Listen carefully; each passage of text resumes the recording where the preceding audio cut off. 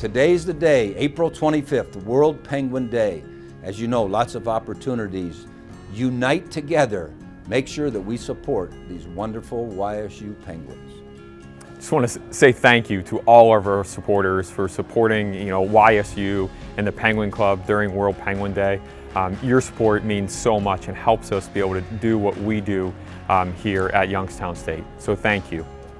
We've always wanted uh, to say thank you to those that have supported in the past and, and those that will continue to support. Uh, it's very appreciative uh, for YSU and the athletic department um, to be able to, to have that support. Thank you so much for supporting World Penguin Day. Go Gwins!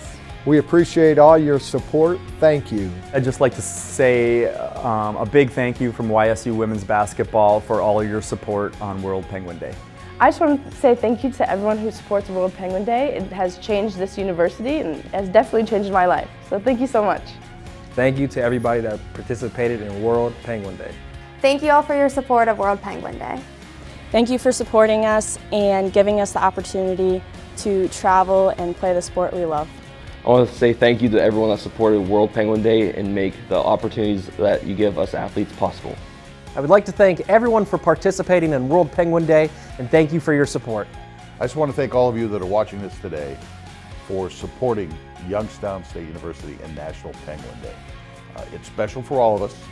It's unusual, you know, but the penguin being our mascot, uh, and I don't believe there's another penguin mascot for any university in the United States. So this is our day. Thank you for giving for Penguin Day. We'll watch the Penguins. And thank you for supporting the students. Thanks so much for your support today. April 25th was a great day. World Penguin Day was a success.